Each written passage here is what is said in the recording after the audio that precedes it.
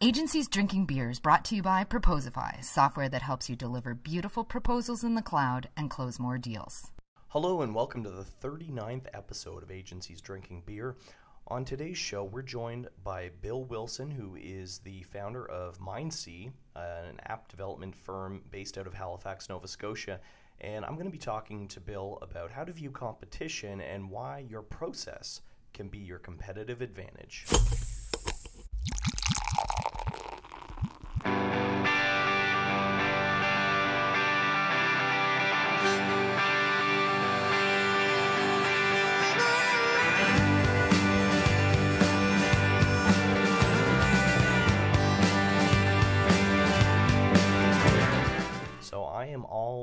Today. Um, Kevin is in Phoenix, Arizona right now. Actually, he took a little excursion with his family. I believe he is at the Grand Canyon as we speak.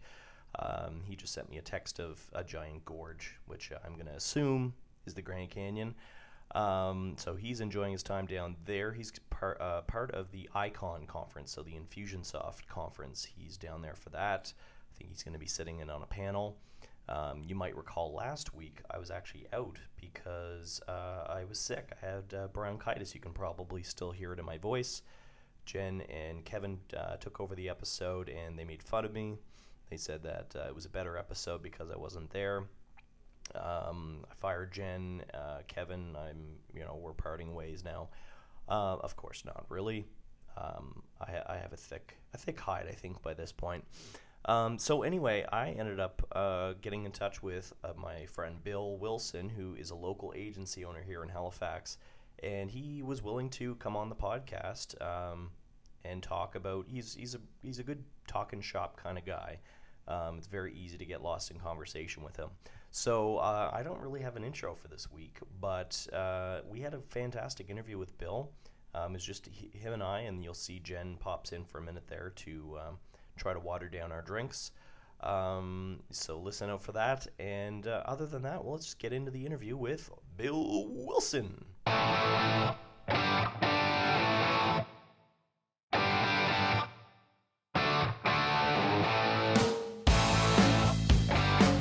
So, welcome, Bill. Thanks, man. We have Bill Wilson on the podcast today. Um, Bill joins us from Halifax, Nova Scotia, local local agency owner who runs uh, the best I've heard the best iOS app development shop in the world. Is that correct? Uh, sure, I'll take it. Thanks, man. So why don't you give the listeners a little a little background on MindSea, what how it started and what you guys are up to. So, MindSea started off as a sort of loose gathering of other like-minded developers that wanted to go after work together. Uh, I quickly realized, without anybody really kind of steering that ship, it wasn't going to go anywhere. So, I decided to start hiring people. I guess like I wanted to start building something more. Um, and at that time, mobile was really coming on strong. I had done a lot of mobile work. Um, in jobs past, um, Palm. This was around the time the iPhone got released, Yeah, right? 2000. So it was probably 2009 when I started going down there, and um, so the yeah. kind of the app marketplace was a new just starting. and- Yeah, just starting, and I really wanted to do it. Um, and uh, so yeah, I guess that's sort of how we got started. And then you know, fast forward a few years and a few more offices and a few more people. You know, we're now 15 people building you know mobile apps for people across North America. We focus on native you know apps for iOS and Android. Um, we build those for several different types of groups, but we do a lot of media companies. We do a lot of startups, um, and we've done a lot of, um, I guess you'd call, uh, people who have existing offerings that want to enter sort of the mobile channel Right. and build out their offering on mobile. Yeah. Uh, uh, maybe an example of that would be like newspapers, right? Yep, When newspapers. We do a lot of newspaper work. Um, you know, we do a lot of work for Postmedia, the Chronicle Herald. We do a little bit for Dallas Morning News. You know, there's a few more. I guess I probably shouldn't really name drop. Sure, if you want. Actually. I'll name drop for you. Uh, anybody who is familiar with Transit 360. Oh, right. My one of my favorite apps now that I've started uh, taking the bus again. Nice. And so Transit 360, you guys are in how many cities? Uh, I've lost count. I think it's at least 40. What? Yeah. I didn't even know that. Yeah, and it's all, it's Canadian only still. So we're across Canada in as many municipalities we can get into. We support real time data now, which is something that we hadn't done for a long time.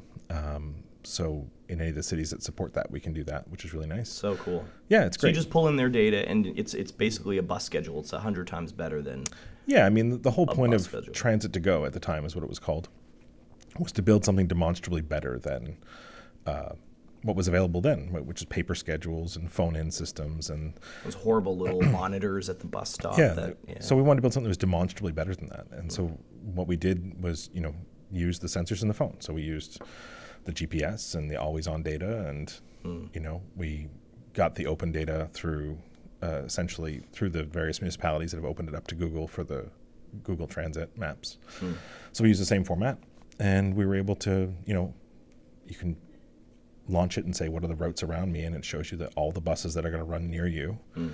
and the next three times they're going to leave, and where to catch them. Yeah. You know, like that's that was such a no-brainer. Um, one thing that's always really impressed me about uh, you and, and Mindsea is the fact that you guys don't do. We were talking earlier a little bit while we, we were waiting to get into our uh, the coveted recording room um, ab- about the idea of selling locally. So, you know, you kind of said when you're in a small market like Halifax, and we've talked about this a lot on the show before, that unless you really have a good reason for selling to a client somewhere in some other city in North America or beyond, um, you kind of are stuck with the local market because why is anybody going to go to another um, somewhere to a, to an agency somewhere in another city unless they have a really unique skill set that they need? And so one thing that's always impressed me about you guys is that you are everywhere. You have clients all over the all over North America. You don't rely as much on the local market. You might do some local stuff. Um, but you also have like a very tight sales process for getting into those. You're not just kind of relying on word of mouth and referrals. Can you talk a little bit about how, like, how do you go about getting, you know, a sizable app build project from some client you don't know in another city? How do you do that?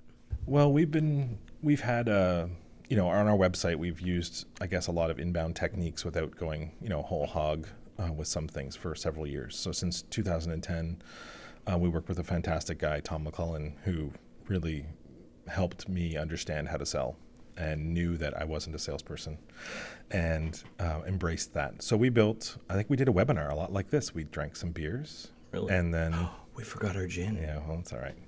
We're gonna have to take a break and get some gin. Get some gin. Yeah. So uh, we just had to we just had to pause for a minute and take a quick uh, quick little excursion into the fridge. Um, yeah, there you go. Um, one thing that uh, I, I'm very ashamed of is that we don't drink on this podcast as much as we kind of say we do in the title. So, Bill, uh, you saw to it that we we have some gin martinis in front of us. Yeah, you know, maybe a four ouncer, maybe. I don't know. That's not very much. It's just a small couple one. ounces. It's good. It's delicious.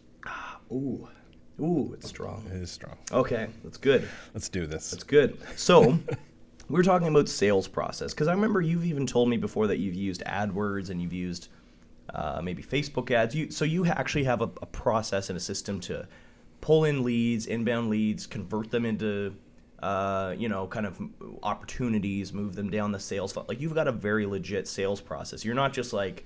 Oh, I know some guy named Jim who moved out to LA and he needs an app. Oh, yeah, no. I mean, as a developer, I don't know wanna- why I sound like I was from the 30s. No, that's fine. Uh, as a developer, though, I really wanted to systematize everything. Like, I just felt like we've got to be able to measure this stuff. Um, so it was early on. I had some help.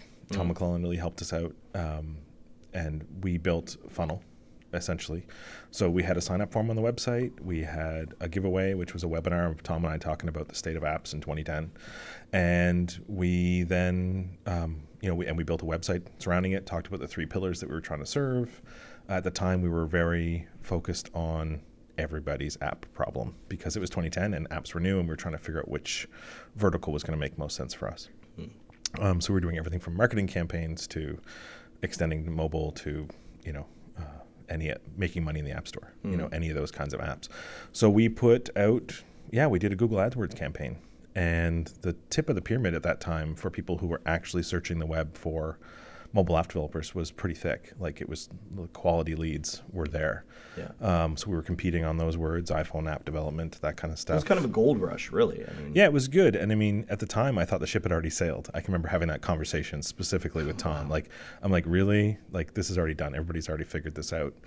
And looking back on that now, that sounds foolish, but I remember how like, I felt. Headspace, my old agency, we kind of like dipped our toes in the water, and we our developer went away for a week and just read a book on uh, Objective C or something, and kind of learned how to build basic iPhone apps. So I think we did one or two projects, and of course we had it all over our website. We do iPhone apps. Yeah, no, you were like my big competition at the time. I, I rem- think I did remember. three I remember. I was like, I don't want to talk to those Headspace guys. We are dicks. But um, but no, you went in full. Yeah, like, so we did that. full- yeah, like we kicked off this campaign and uh, we landed our first couple of clients, I think, in Missouri, believe it or not. Missouri. Yeah, Missouri. Wow. And uh, so we did um, we did an app for this company in St. Louis, which was essentially a one man shop, who wanted to build an app um, that focused on his passion at the time, which was photo booths. And uh, so we built Pocket Booth, which was uh, it turned out to be like a top ten app. It was like I don't know, App Rewind. You know, when Apple does their feature things, the end of the year it was like 2012, one of the apps of the year or something. So it was kind of mind blowing for us. But yeah, that's how we built, like we built out the whole process. So it goes from, uh, you know, we would have the sign up form on the website. They would get an email shortly after that with the download links and an offer to have a call, right? Um, if they were interested, they would get in, touch with us. We wouldn't do a drip campaign. We wouldn't do any of these things that you know people are doing now that are really effective. So we probably could have been more effective, but it seemed to work. So we did the initial email. Um, they got the download. Then would reach out to us. We could have a call, chat with them, and just start the conversation. So it really opened up that just that top of the funnel. And at the time, the leads were pretty decent. You know, we'd still get a bunch of people going, "Hey, I've got a website. Now I need an app." And we're like, "No, you don't really need an app. You, you know, apps are not websites."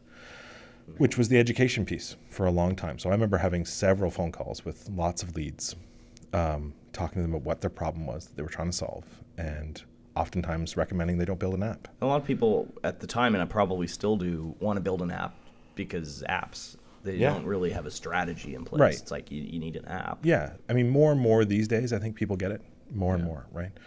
But unless you have something that you know you have a particular user group or you know people that you're trying to engage with in that channel, and you need to be on that channel, don't build like don't build your hmm. don't turn your website into an app. It's not it's not what you do, and it's too expensive to do that. Like And I'm totally guilty of that line of thinking because for Proposify, I totally I've wanted an, an app forever, but I just can't find a business case for it. Right. Other than it's kind of cool to have. Right. I guess that well that leads into something else. Like for us, part of that funnel isn't just the um, the you know like you get them signed up and you have that conversation. We did do our own form of lead tracking, and we used a weighted funnel right from the beginning. So we assigned some arbitrary numbers. I think at the time, like if a web lead came in, they get flagged as three percent. We built some software to take them as soon as they signed up. We add them to a Trello board and they get a card gets created for them. We used, I think, con- uh, FullContact to go and try and grab as much information about them as we could based on what they gave us, so we could get a little bit more information about the person, Industry and industry, position. or yeah, like even just their LinkedIn profile or Yeah. or something. Um, and then we would just await them, and then we'd move them through this set of col- set of lists in Trello, and each one being more weighted than the other, and we would use that to figure out roughly how big our pipe was. interesting use of Trello. I've never heard it used that way. Before. Oh yeah, it was great. And I mean, we did want to like we built some software to add the leads to it, um, and I did want to build some software to actually do the calculations of the weighting, but uh, our funnel was small enough at the time; it was pretty easy to do to look at the ones that were fifty percent and you know divide that total in your head. Um, so yeah, so we use that to sort of measure the size of our funnel. Um, but you know, those were early days. Um, but we've kept the same process Yeah. over the last little while. We've improved the tools. Like we use a different CRM tool now that has a weighted pipeline built in, so I know exactly what the size of the funnel is at any time. Um, but really trying to generate content that people, you know, want to read, which is tough. Demonstrating your knowledge and Well, yeah, just education, right? Like trying to talk about our space. Um, we have a lot of our staff are writing for the blog. Um, we do so we're a very heavy design focused shop and uh, development focused shop as well. But we have a lot of articles on design. So uh, we get lots of One designers. got picked up a lot recently too, wasn't it? Yeah, we did. Uh, Amanda did a great one on um, the iPad Pro and the pencil, Right. and uh, she used it for a whole project, just doing all of her sketching during one of our blueprints. So she did all of her sketching with it, and then she, I think she did one more, and then anyway, she wrote up her experience with it, and um, Gruber picked up on it and tweeted, or I think it was actually it was the lead designer at Adobe, I think, tweeted about it, and that must be how he saw it. Anyway, it just sort of got picked up, and we ended up getting like we usually get um, a handful of leads every day coming through the through the pipe. Um, and on those days, it was like you know a couple of hundred. And I remember you saying how it, it kind of it's, it was great like exposure, but in terms of the lead quality, Mm-hmm. it kind of went down because it was like competitors downloading your shit. Yeah, we would get a lot of emails saying, "Hey, thanks for the design checklist. You know, we're just trying to see how other people do what we do." Yeah. And You're like, fuck at- you. well, at the time, I would, I, you know, if this was a few years ago, I would have been definitely, you know, feeling that way. These Yeah. days, I'm a bit more, you know, it's a really big ocean out there. There are lots of people doing great things, and if we can. Like I don't want to get all kumbaya and say if we can help each other, that's great. But the chances of us running into each other in a deal are Mm. pretty low, and that's one of those things. If you don't focus on your local market, you know, You the, can do that. The ocean's a lot bigger, right? If you don't want to run into your buddy who started his app design shop and his other friend who runs a marketing shop and your friend who runs a marketing shop, you know, like it's just Yeah. every all these communities, no matter how big your city is, I think are really incestuous. Like there's just they, everybody knows everybody and everybody knows everybody's business, and that's something I didn't want to do. So that's a, a really. Are you coming in, Jen? I'm Jen, just giving you Jen mix. just came in. I just realized you guys didn't have any mix, and I was worried about you. No, we don't need drinking mix, it's gin straight. We're making martinis. Do you want to say hi to the listeners, Jen? Come. I come think. I just did. Well, I'm just here on bar delivery. But they're, Oh. th- that's tasty. Uh, I, I was thinking they're drinking their gin straight. Yeah, Yeah, we are. yeah. That's the way we roll. It's a proper martini. I'm And, sure I, good. and I'm messing this up entirely. No, just so you know. Bill's great. Bill's great. no, it's a gin, gin is a good idea lubricant, right? So Yeah. yeah, I'm feeling I'm feeling good now. So you're not gonna s- sit in? No. I can't drink. You smell like chili. No, Did you I, eat chili? I, I was eating wasabi flavored uh, Oh. pea, snap pea crisps or whatever. Sorry. Those are really weird. See, I'm breathing all over you. I know. It's. I'm being bathed in the air of wasabi. Grapefruit, uh, grapefruit Perrier. It's Thanks, fancy. Jen. Jen's trying to keep us from getting drunk. That's all she's doing. Good luck. She's like, water that drink down, guys. I don't want to deal with you later. okay. All right. so back to this. So this is a nice segue, segue Bill. Not Jen just barging in with Right, right. Perrier. this the nice segue was about this idea of competition. Mm-hmm. Um, because that's something I want to talk about. You know, you mentioned how when when Headspace got into iPhone apps, you kind of felt, you know, there's that little. I think that agencies in the same city, especially small cities, kind of hate each other. Yeah, you might be friends. You might, you know, say, "Hey, how's it going? How's business?" or whatever at an event. But everybody's keeping their cards a little close to their chest. Nobody's being too forthcoming about their process, what's going on in a project, who's work. Like, there's sort of that unspoken rule when you're like with an agency owner in the same city that you just keep it very polite and high level, but you don't talk about I your think shit. that's my problem. I didn't know that rule. Really? I remember pretty- you I'm came pretty into, open. You came into Headspace once to talk to us, but you you were a little bit, you know. Well, it's we funny. talked about romantic comedies for a bit, but Yeah, we it was fun. Rom com's my favorite genre of movie, just in case anybody wants to know. Um, and your favorite rom com is? Notting Hill. Oh, okay. I thought it was a different one. No, Notting Hill all the way. I Sorry, think- I know. I think it's, we might have talked the- about it's You the Got worst. Mail. It's the worst. It's the worst movie and best movie of all time. Wasn't it You Got. Mail that you really liked though? Uh, no, it was okay. Okay. It was definitely Notting Hill. Right. I, I could recite. We could start it now. We've got a couple hours. I could recite it all. No, we better not. Okay, that's good. Um, yeah, so I found, yeah, like I guess in these small cities, this is, this is the big problem that around, you know, I think the term frenemy comes up a lot, and this is interesting. I was If reading. you're 13, well, no, but I was reading a thing about um, newspapers recently in the media companies and how basically the old guard's getting replaced by, you know, Facebook and all these other great delivery tools for news, right? Hmm. Most people are reading their news in other apps, not your maybe not your newspaper app. Hmm. And how do you how do you try and solve some of those problems? And you know, newspapers were, I think, a lot like agencies that way. They were all kept their processes very close to their chest, hmm. but now they're being forced to be very open with each other about how they do things, um, so that they can all for the learn best of the and they industry. can, yeah, so that they can all, you know, because their audiences are their audiences, right? Yeah. And sometimes you're competing for the same audience, but that's okay. yeah. And I think that's what I've learned about the agency life too, is that this whole idea that you know, uh, I think it was actually Carman Pirie from Kula Partners that Yeah, said he's that's been me on the once. show before.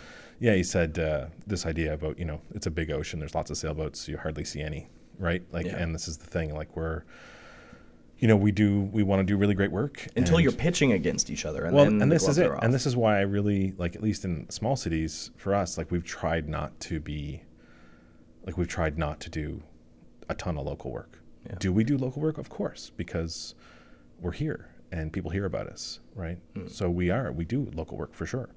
Um, and some of the best work we've done has been local work. If it's a good client with a good budget, why would exactly you turn it down? right? So that's really what it's about. I think riding the coattails of, of other agencies or uh, government or any of these other things. Yeah i mean they're just disastrous right? Or they can be. I Yeah. mean maybe those relationships can work. I haven't uh, and you know i've got some great friends that run cool agencies and stuff. And we keep saying oh yeah let's let's find something to work together on. And it never really quite happens So partnerships. yeah Have you ever partnered with an agency? yep How did it go? not well No. No. You? Uh, same. I don't. I'm trying to think of when we did.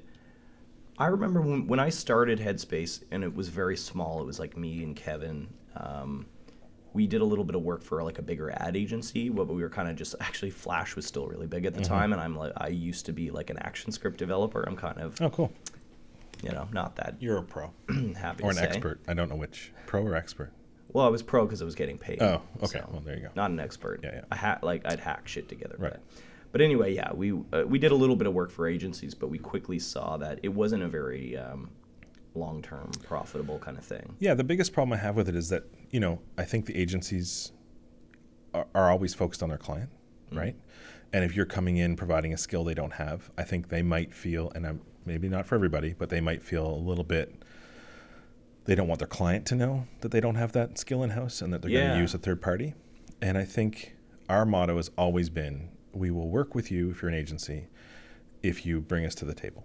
Like, don't hide us. I'm not going to, like, people have asked us to get an email address. Oh, yeah, no problem. Yeah, you guys can, you guys do great work, blah, blah, blah. Here, can you just sign up for an email address for our company? We'll get you an email address, and all the communication with the client needs to come through this There's nothing address. more sad and yeah, it's, desperate it's, well, that. it is pretty right? desperate, right? And I mean, and I feel I understand it because I, when I first started, I felt this way a little bit about, like, I would work with freelancers, and I'd want the freelancers to be have a Minds email address, Mm. Yeah. right? We possess that person. Well, this is it. We and own them. and it's and it's this really um, insecurity about what you do. Yeah. And what I found is is that if we can if we can find partners that want to work with you, and they understand the value you bring, and they understand that that value you bring is actually a good thing for your client, for their client. So if they bring you to the table, I, I, we've done a few engagements with a great agency in town, um, but they've been very very small and mostly around just consulting and, and chatting. But they've been great because they've introduced us as the you know, these guys do great stuff. We really like their work. You know, um, let's all talk about this problem together and we help solve it. The worst thing is trying to solve a problem through a proxy, right? So if the agency is being a proxy to the client Yeah. and they're the ones who are articulating the, it's telephone. They're filtering what Yeah, the client. it's a telephone game. Yeah. So unless you're at the table, so my one piece of advice with that, if you're going to partner with agencies, be at the table. Yeah. Like don't be a hidden partner. I find one one kind of partnership you see a, a fair amount is uh, a design company that's very strictly design.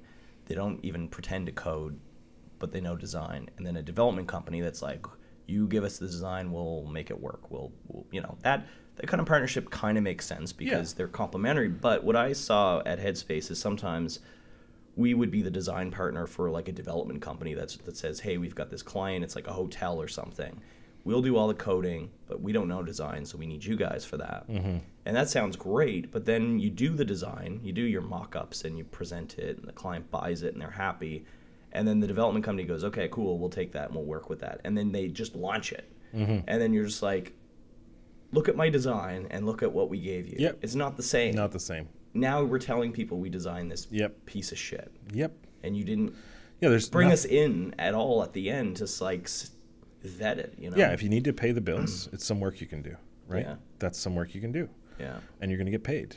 But if you want to, like, it doesn't do much for you, right? Maybe you get more work from that same development company. Hmm. But if you're focused on trying to build that relationship with the client and, you know, help them understand, you know, the vision, like, you're trying to, I guess, in most agencies, I think the the goal they're coming to you with this problem, and they're looking to you for a solution. the fact that you guys do design is how you solve that problem. Hmm. Fine. Um, but when they go to another company first, like a development agency, like this is why MindSea's so design upfront. Like we do a lot of design work. We have a lot of designers on staff. It's, you know, part of our thing. When we first started, we weren't right. We were like just developers. So we would rely on people. Like we used to work with Hi There. Do you remember Oh. Hi There? Um, Remember the name? yeah, Nick Brunt and Ian Conrad. Great. Oh, oh yeah, Ian. yeah, great guys. Duck. Uh, yes, uh, Porcelain Duck Porcelain is Duck his on Twitter. Uh, Twitter Yeah. and Instagram handle. So I think he's in Toronto. He reviews now. beers. He's Yes. a great beer reviewer. Right, anyway. right. Yeah, the Yeah. Uh, consummate uh, hipster. Um, And a and a mean ginger beard. yes, that's right. So anyway, like we worked with those guys for the first few designs that we did. In fact, they did the first design for Transit to Go. what did they? Yep, and they did a design for the first two apps we built actually, and we worked with those guys, and that was really good because we would bring them to the table, and they would be part of the thing. It's like, yeah, this is hi there. They're going to do the design. We're going to do the development. It was all transparent, and everything was hmm. great. Sometimes you do things for the sake of the client. Like one of us will do the billing, one of us will do the project management. Those types of things can work, but when you're a little guy and you're working for a big agency, you're basically just a freelancer for them Yeah. if you're trying to build your agency and you've got staff that you have to feed and you know the rest of it Yeah. I, I would encourage people to get your own clients like Yeah. it's just too hard to be constantly at the whim or the you know one one mistake right and all of a sudden the source of a lot of your deals could go away Yeah. right? So if you're diversified, if you're building your own pipeline, if you're working on your own, uh, what do you call it? Your own, uh, Brand. yeah, I don't want to say brand, but you know, your own, I guess, your own portfolio. You're you're choosing which projects you work on based on what the clients are telling you. You know, Your you're own business. You're own not building business. someone yeah, else's you're not building. business. That's exactly it. You're not building someone else's business. Yeah. build your own. And agencies are also, and they should be because they need to be extremely protective of cash flow. Mm-hmm. Anything they can do in house, they're going to do, even if it's not as good, because they they can feed Yep. their staff with it. They're not there to feed your staff. Yeah, I mean that's another thing that we do at Mindsea is I've got uh, reports and metrics more than I want, but like we know fully loaded cost of absolutely everybody.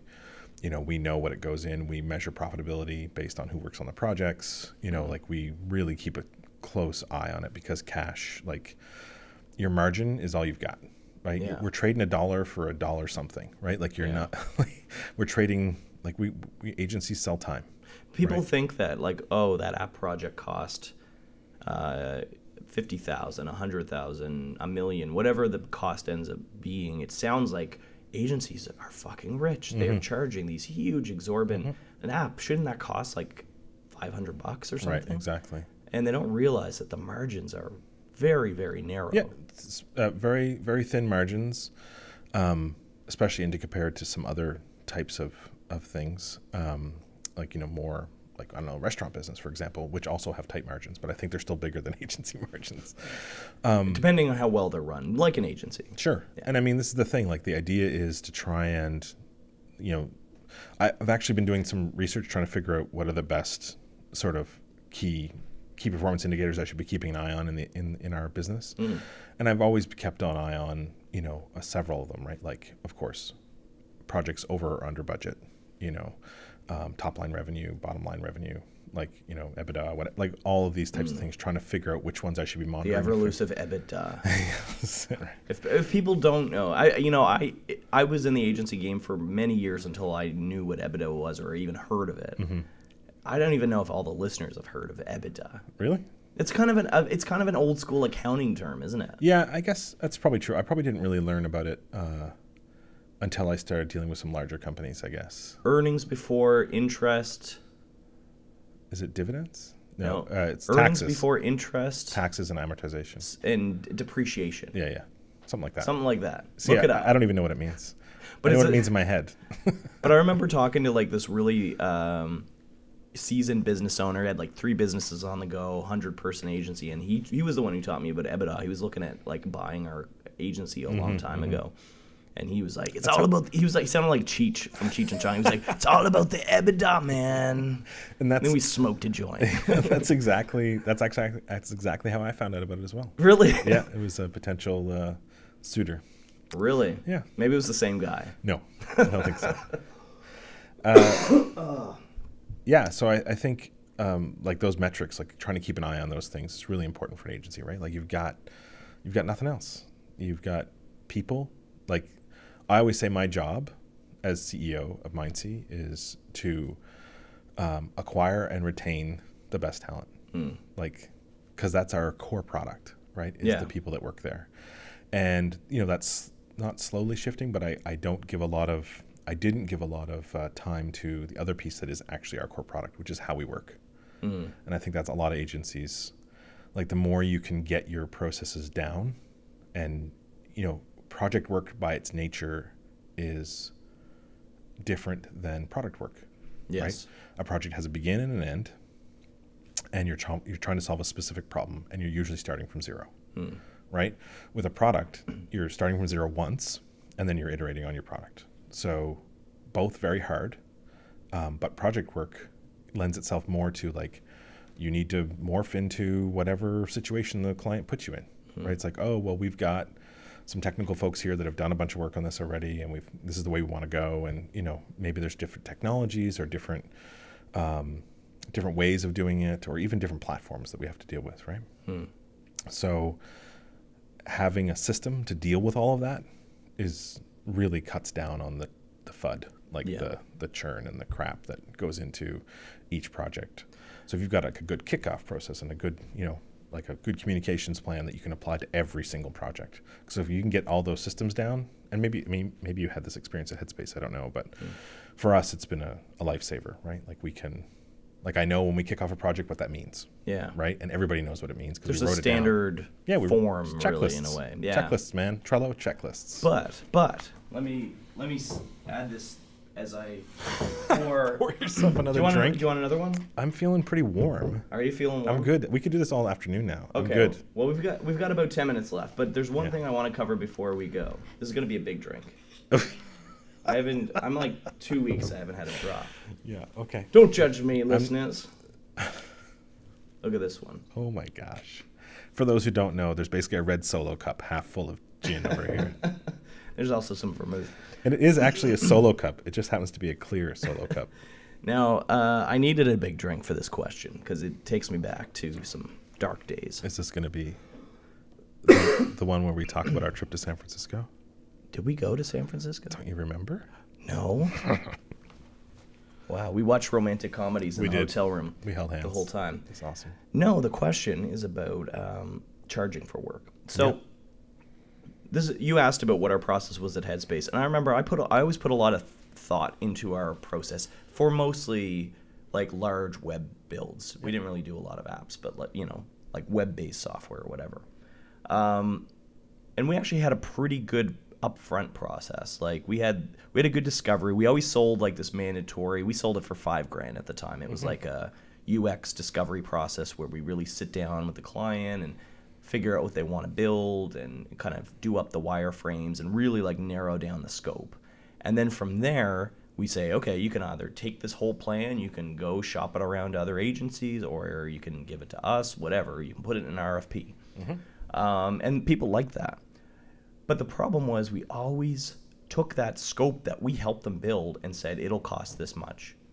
And then we they'd give us the project and then we would do it and then everything would just it's like how they say like the universe just sort of naturally gravitates to chaos. Like mm-hmm. eventually all the systems break down and the universe implodes. It's that was what every project was is it starts with this great idea and process and there's like the glory era of the project and then it just devolves into chaos. And at the end you're like we didn't get content and the client says there's bugs and we missed the launch date because of the client and we don't even know where we're at in the billing process and you just lost money and i never figured out how to like keep it on the rails Yep. how do you do it It's tough, and we've gone through several painful lessons. Um, I can remember the very first app we sold. I think was for twelve thousand dollars. Yeah Which is kinda what we did. hilarious. i think we did one for five You know, I did one for five once, yeah um, and never again. Um, but we did one for twelve grand, and that app probably today would probably cost 80, 100 grand Yeah. easily, maybe even more. Um, and at the time, we even lost our shirt on it. Um, we had a great client. He understood that we put in a lot of extra effort into it, and the scope changed and all that kind of stuff. And so he helped us out, but still didn't. You know, it was still good. Um, great relationship. Work with, still work with them to this day. Um, and, but the things that have helped us, and they're still not perfect, obviously. So if you're in if you're in fixed price, fixed scope land, you're in pain, right? Yes. Like you just are. So like you, Nothing in life is fixed. Right. So what we would do, so we were even worse. We would start with the phone call and maybe another phone call and get like a list of requirements and then give a price. Oh. Right? So I don't know how many people who are listening can, are nodding their heads right now. Yeah. But I think this is probably a thing everybody's done. And we did this for a while.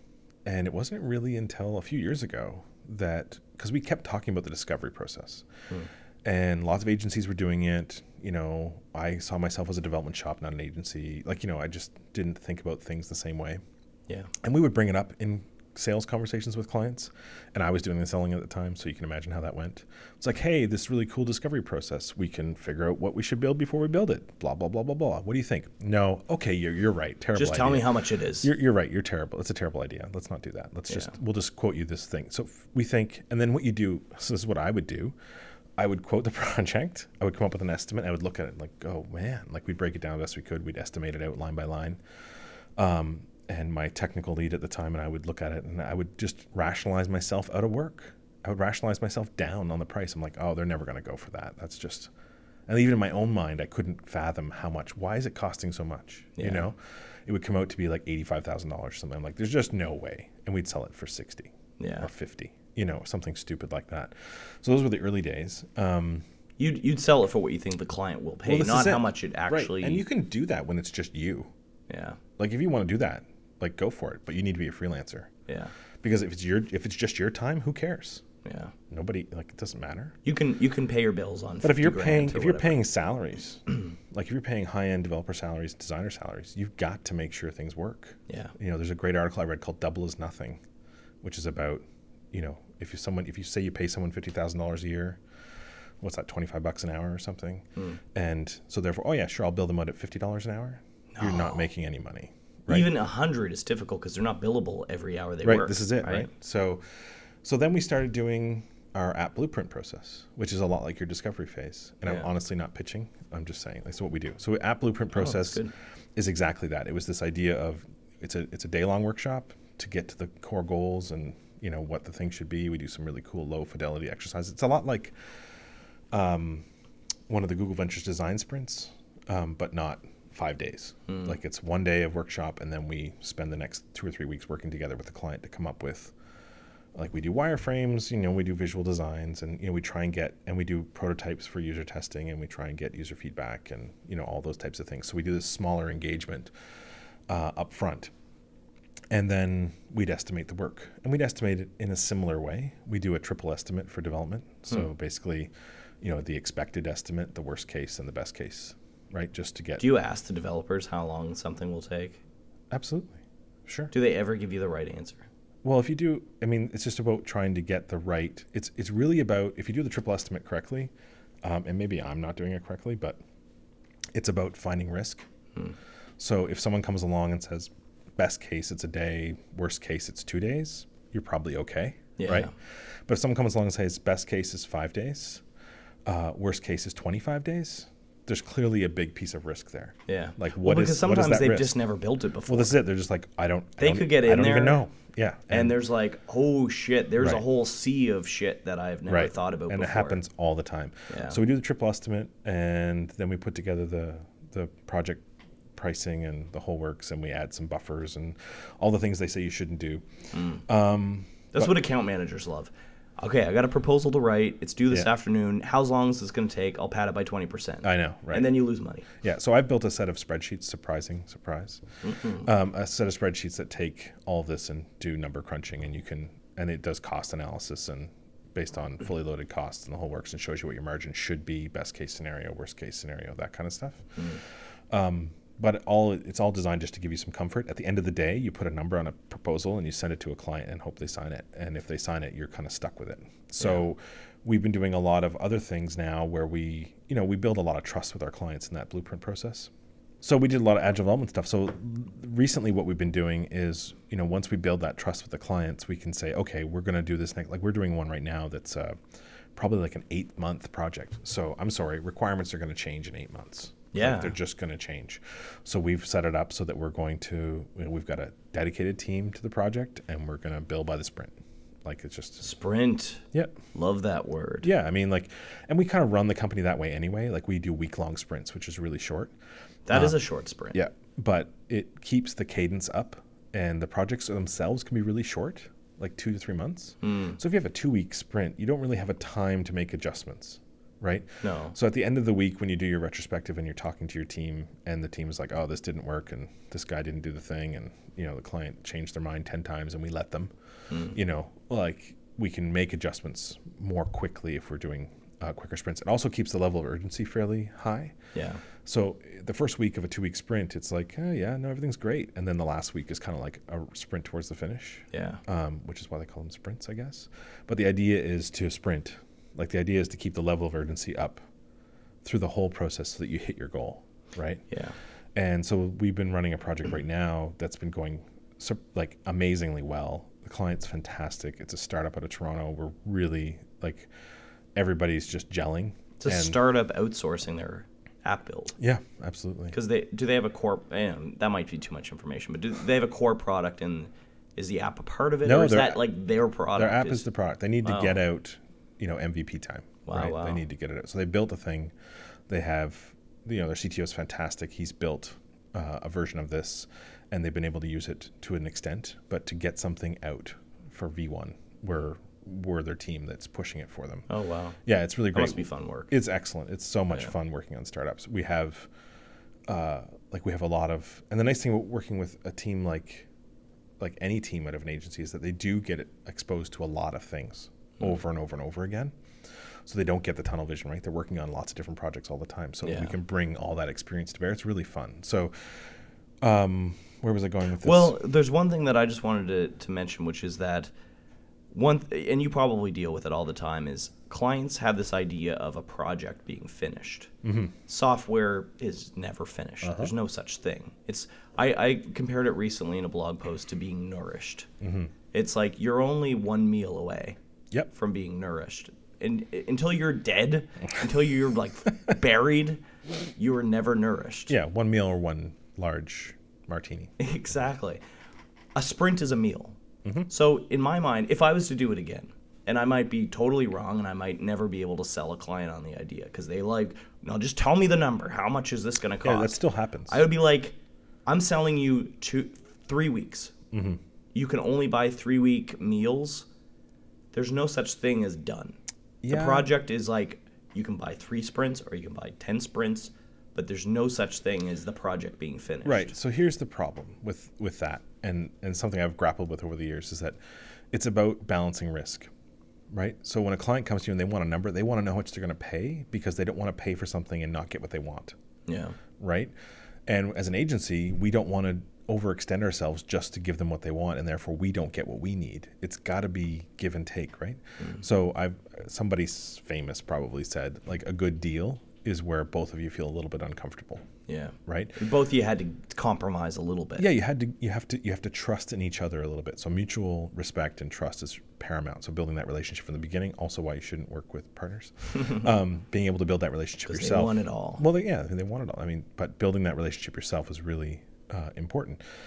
Um, but we did this. We, we years ago when it was just me and, a, and another developer friend um, working on projects we did um, we had a project that had been burned by IT companies before, and they were re- they're in Calgary, and they were really worried about working with a remote partner again, and we're a small shop, and I said, okay, no problem. I said we'll work for a week. It might have been two weeks back then, so we'll do two weeks worth of work. And this is before you could even do over-the-air distribution for apps, so we had no way of really getting them a copy of the app without having their physical device connected to iTunes back in hmm. those days. Um, so we would do a video. So like we'd fire up ScreenFlow and we would, you know, use the simulator and we would record us and a talking head in the corner and talk talk them through all the features we added to the app that week. Hmm. And I would send them the video and an invoice. Hmm. And they would go over it and they would say, "Yeah, that looks good. Thank you. You know, uh, that's great." And they would release payment for that week. Wow. So we were doing, and it was a larger project. So, but we this is the challenge. We still had to give them that big ballpark. Yeah. We still had to give them something that they could hold on to, that they could take back to their decision makers. Right. Because if you come to a company cold and say, absolutely, we'll build this for you, two week increments, 20 grand a week, 20 grand every two weeks, right? They're just going to go, really? I, I don't, what am I getting out of this? Like, they're not going to know. You got to build that trust. Right. Right. You, your clients look at it as a destination. Take me to this place. Yes. The agency is like, we're going on a journey, and Mm-hmm. we might end up here or we might end up there. It really depends on a lot of things. And it's like, how do you convince them that we're going on a journey together? We're not saying we're taking you, Yeah. you know, So- 30 miles that way. Right. Some some really good things to do that. Small projects to begin with, right? So like your discovery phase, our blueprint phase. Every agency has some form of this. Super critical because you get to figure out if you can work with them, if they can work with you, if they're going to be a good client. It's a you foot in the door project, but too, yeah, right? But it is. But it's even more than it's just about building that trust. But that's what I mean. The foot in the door project is you're still getting paid. You're not doing free. Yeah. You know, don't do spec work. Yeah. Never do spec work. Yeah, Everybody. exactly. You probably heard it on this podcast several times, but don't. might do, have brought it up before. Don't don't do spec work. But then you might discover as you're doing the foot in the door project that you don't want to work with them, which is great. Part Mm-hmm. Yep. ways, you made money, Yep. they got something out of it. Sure. But if you do want to work together, then you're more likely to win the big project by doing that early project. Absolutely. Yeah, and I mean we and this is what we do. So we we are we operate our blueprint very similar to yours. Like we do this full design, and our guarantee to them is they'll have everything they need to go off and build their app with somebody else. So, and as part of the delivery. Which is facetious because we know they're going to come to you. no, we've they had- built up the trust with you. We've actually had people come to us saying, "Look, we just need the blueprint." really? Yeah, yeah. The blue. I mean, and the thing is, like our blueprint, like is super valuable, right? Because it can be used to help fund. It can get you pre-funding. It can get you because Mm. you know we build some really beautiful things. There's a pitch deck that goes with it. Yeah. Like there's some really great stuff that you can use as uh, tools to help you in your path to getting, you know, whatever round of funding you're in, right? But yeah, no, I think uh, what were we? Ta- this is really good, gin. What were we? Ta- It is good gin, right? It's Bombay Sapphire. It's got herbs in it. Anyway, you know what, uh, Bill? You have a meeting to go to. You're checking your watch. Let's keep going. What? Yeah, we can go for another another 15 minutes. Okay. I, I'm having a lot of fun. Good. Yeah. I'm having fun too, and I I'm having a hard said- time. I am. Re- I'm gonna say I'm having a hard time hearing my voice through my headphones. Really? Not. I'm not having a hard time. I just can't get over how good it sounds. It I'm sounds so good, right? Anyway, um, I ha- am having a lot of fun. I always said you would be a great guest. Yeah, I want to do more. I wanna do more, let's too. Keep talking. So you were Um, on this cold call. So I'm on this cold call, and we just we're going through this exercise, and I'm challenging, I'm challenging. Anyway, I didn't think we were going to get anything out of it, right? Um, we left it in. You know, I really think the blueprint can help you out here and figure out if this is the right thing to build. And uh, sure enough, they decided they wanted to work with. He's he's in California. There was someone else in Canada. California. You know, and it was just yes. I can't make. cau- I, I can't hear California. Cauliflower. Cauliflower. Blah. I'm sorry. I'm okay. sorry, people. I've had a lot of gin. so anyway, You in um, California? Anyway, so we did the, so we did this blueprint, right? And this is Mm. the thing. Um, so we got the business because we asked those questions, right? He could have easily worked with anybody else that was just like, yeah, yeah, cool, thanks for the spec. We'll build you the app you want. Good luck, pal. In the app store, you're never going to make it, right? Good luck, Like take pal. take the money and run. Right, yeah. And we don't want to do that. Well, I want to make sure that the apps we're going to build are going to be good. And that's really hard sometimes. Mm. Even sometimes big clients don't want to maintain their stuff. Oh, yeah. Right? the difficult thing is like there's as an agency owner you need to make money Mm-hmm. you also need to believe in what you're doing because if your team's not motivated if they don't, if they don't love what they're doing they're not going to be happy Oh, absolutely. you're not going to be proud to show it off you're not going to use them as a case study right so there's a fine line between we got to make money we got to bring Yes. money in but we also need to like what we're doing and be happy and motivated and passionate and the difficult thing is like telling a client that's the dumbest idea I've ever heard. Right. You're when, an idiot. especially when they're waving a check at you. I know. Where, Yeah. where do you draw the line? Uh, I've got some rules. Yeah. Yeah. Uh, I've broken some rules over time too. I never wanted to do dating apps before, and I think in our conversation just before this, I told you about two different dating apps that we we're looking at doing. You joined Grindr. yeah. You're looking act. You're actively looking for uh, a hookup with a man. Yes, that's what you told that's, me. That's correct. Thanks, Kyle. Um, yeah. No, what's like- your handle, Bill Wilson? Is there a way to contact you through Grindr? Thanks. Um, no, we, we had people. So there's a couple things like gambling. You know, at the time, dating sites, but I've realized that there's actually some really great stuff happening in the dating world that's not sleazy. Um, and maybe I'm just passing my own judge, my own beliefs through. Like, I, I just didn't want to work. I did a gig at ALC, Atlantic Lotto Corporation. And I said, cool, as long as I don't have to see any video lottery terminals. I sort of broke my own rules. and they sat me in the warehouse full of video lottery terminals. Did you get to see like old like fishermen just? it was terrible. It's where they it's where they fixed them. Anyway, I just didn't. Yeah, it wasn't for me. You get to see people ruining their But yeah, like, lives. ha- Do they sit in front of those people? Well, so the thing. So how do you? So your question was, how do we handle this situation where you know we don't want to do their app? Yeah, like I had a cl- I had a, a client at Headspace who came to me. He's like, I want to build an app that like sorts your email into Yeah, junk and spam. I was like, that's stupid. Gmail does that. Just So what I've realized is that sometimes those ideas on the surface sound ridiculous until you dig into them. So I always try and just dig in more and understand. But something like we had somebody who wanted to do, they wanted to do phone call recording. So they're like, yeah, yeah, no. So we'll just build something that embeds into the iPhone phone app, and then it'll record your phone calls. that's useful actually. Sure, but you can't like what? You can't like technically you just can't do anything to oh. Apple's existing phone apps, right? Hmm. So if you wanted to build your own phone, then you've got this thing about penetration. You've got to get into them. You got to p- get people using your your digital handset, you know. And there's lots of people that want to build VoIP software, right? Yeah. And there's lots of VoIP. so anyway, so VoIP. you go you, you go through all these cauliflower. You go through all the, California. you go through all of these. Sorry. This is getting out of hand. All right. So you go through all these situations where, you know, sometimes the idea is just not good. And sometimes you just say, you know, we're probably not the right fit for you. Right? Like you just have to be and I think it's really important to to not dance around it. Like you just say, like respectfully, we're going to pass on your project. It's probably not the right fit for our team. So, for example, if someone wants to use, someone calls us up and says, "We're going to build an app. We're going to do all the design, testing, project management. We just need a developer." I'm like, Oh, go we're not- fuck yourself. I'm like, we're just not your team, right? Yeah. There are lots of people out there that do body shopping. We're not it, Mm-hmm. right? We've got a process about how we build apps, and it includes designers working in Xcode. The designers work in Xcode. They work alongside the developers. They make iterations, and like they're constantly iterating on the on the work Hmm. together. We've got our QA is embedded into that system, and so is our project management. So we have a team doing all that work. Um, and sometimes you just have to draw the line and say, no, no, like it doesn't make any sense for the opportunity cost of having. So I don't know about other agencies, but for us doing software development, it's kind of worked out to a ratio of roughly 30% of your time is spent on design, 60% is spent on development, and 10% is spent on QA. It's just sort of how it's hmm. like this. That's a historical view of a lot of our projects. Yeah.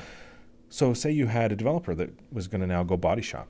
So that's 60% of a project gone, right? Like that person could be working on a full project with a designer and a tester and a project manager, Yeah. right? And now And suddenly you can't be responsible for the whole Right. thing. This is it.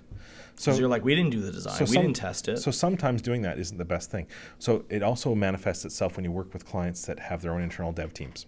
Hmm.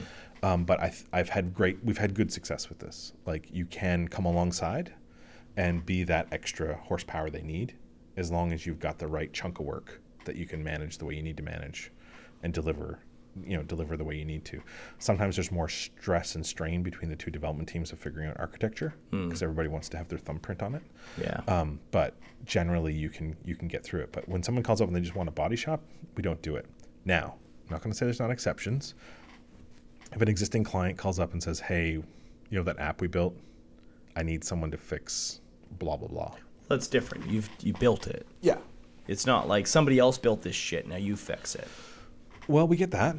Yeah. That's those are some of our But that, favorites. but you want to rebuild it. You don't want to fix it. Yeah, sometimes we get the uh, sometimes the foot in the door for us has been uh, clients let app rot, old app team disappeared or was from some offshore place that was never going to get back to them anyway, and they engage us to do a quality pass because iOS seven came out or whatever iOS nine came out and a bunch of stuff broke. Yeah. So we'll do a QA pass, fix a bunch of defects, do a small do a small release, and then that's our foot in the door for continuing to maintain and- Interesting. and, build out the product. Let's You've got a you've that. got a client call. You've you've it's all actually got work to do. So- I'm getting drunker and drunker by the yeah, second. me too. Yeah, And you I want to pick this up.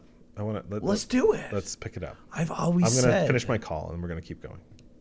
this is gonna be an eight-hour episode. It's okay. You, you're gonna have fun. Ed- I'm sorry, Kevin, at the editing nightmare. yeah, you're about to Kevin's down in Phoenix, Arizona. Yeah, Uh, Okay, you're gonna edit this, right? have probably uh have a good call. Thanks, man. We'll pick it up and Um, I I don't actually. I, it's things sort of trailed off from there. Um, so I sorry. I know that was a little anticlimactic. Um, not a proper ending. So um, yeah, I guess that interview just sort of started to fall off the rails. So probably good we ended it when it did. Um, the drinks were very strong. I had an empty stomach. I was sick. I haven't, you know, didn't drink in weeks. So it was a bit of a rough afternoon. I'm not going to lie. Um, this is why I usually try not to actually drink on the podcast. Um, I think I'm going to stick to um, not as hard drinks next time. Anyway, hopefully you got some value out of that. Um, as always, let it, let us know what you think. Um, what topics we should cover. Any questions you have on running an agency or or uh, building a profitable business. Um, you know, either myself or Kevin uh, or our guest are always happy to answer those questions for you. I would love it if you rated and reviewed us on the iTunes Store. And if you want to be a guest on Agencies Drinking Beer, just shoot us over an email, uh, which you can find on our site. Um, that uh, that's everything. I hope you enjoyed this uh, this episode, and uh, and we'll see you next week.